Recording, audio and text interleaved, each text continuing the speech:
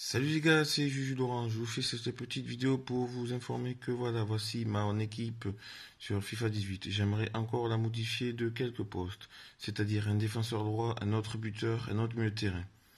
N'hésitez pas à me donner des conseils en commentaire. J'ai 101 000 crédits.